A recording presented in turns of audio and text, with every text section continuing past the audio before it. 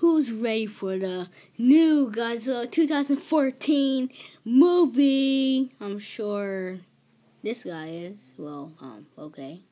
Uh, alright then. Um, oh, oh, okay. So we all know that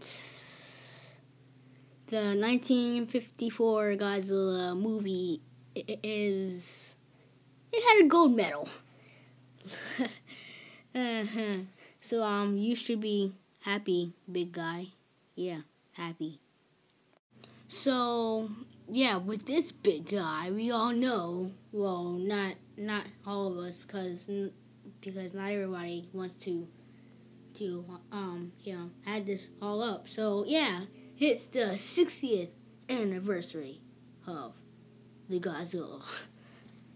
So be happy. Oh, cool, because he has a smile on his face also. So, yay!